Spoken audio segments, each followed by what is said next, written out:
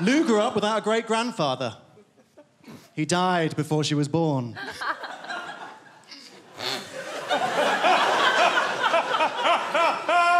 because he was so desperate not to be part of her life. he didn't fight in the war, spent the whole time hidden in a cupboard, furious he didn't have a diary on him. when the moon landing was televised, he watched Coronation Street. Lou's great is so stupid, he once come home with a single bottle of washing up liquid when the shop was running a two for one promotion. Idiot, twat, got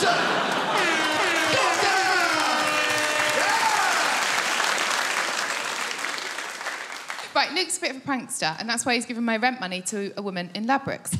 but also a prankster, and that's why he doesn't know this, but for the last six months, I've been using his toothbrush as a vibrator. and it's not even electric, so I'm really committed.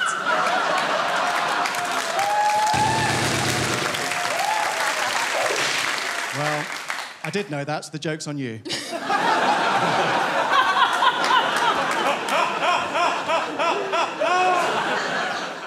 okay, this time I'm really going to roast Lou. But before I do that, you need to know what two things are. First thing, the parasitic worm. The parasitic worm is a worm that crawls into the eye of a snail underground.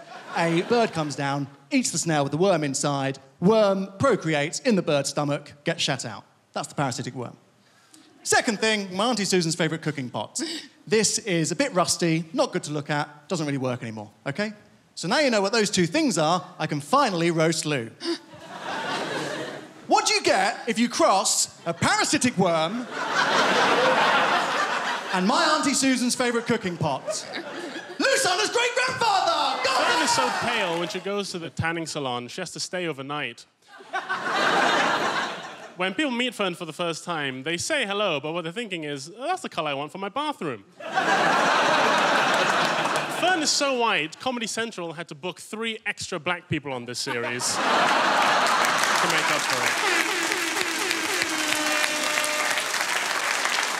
Well, firstly, I've been advised not to mention paedophiles, making it impossible to joke about Phil's glasses. and when you have the glasses of a sex offender and the fat tits of a baby, you must just stare into a mirror molesting yourself.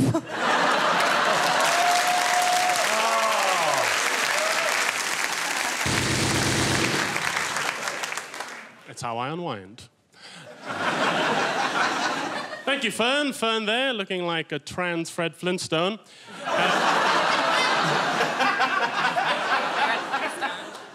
Fern was actually.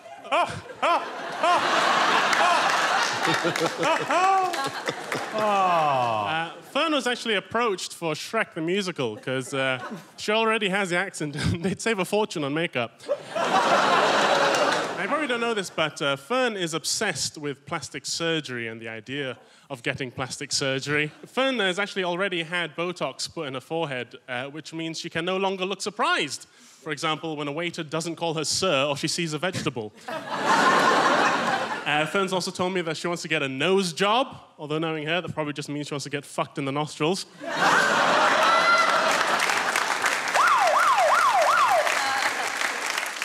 Hey, it's me, Fernie Brady. Fernie, Fernie Brady. I'm just going to keep repeating my name so I don't need to write a joke, which is a trademark of Phil's act.